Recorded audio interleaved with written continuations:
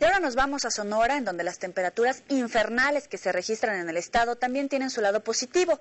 Debido a que los altos niveles de radiación de los rayos del sol, tres empresas buscan establecer dos parques de energía solar en la entidad. Veamos la nota que nos envían de Telemax. El alto nivel de exposición solar que a diario enfrentan los sonorenses representa para muchos un pesar. Sin embargo, podría ser el atractivo para que vengan tres empresas españolas interesadas en establecer dos grandes parques de energía solar en Sonora, uno que generaría 80 megavatios y el otro de más de 100 megavatios. Porque hay planes muy serios de establecerse aquí en Sonora para poder fortalecer las energías verdes.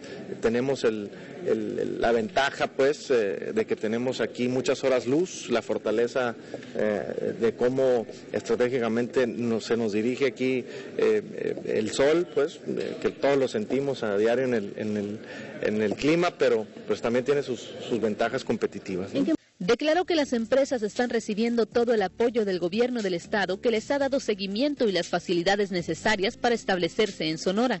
Incluso, comentó el gobernador, tendría que haber un compromiso de la administración estatal para de cierta manera comprarles un poco de energía. Lo cual te da eh, dos ventajas. Uno, estar utilizando energía renovable. Eh, y dos, estar utilizando energía para ser consumida en cualquier parte del país. Gabriela Medina, Noticias Telemax.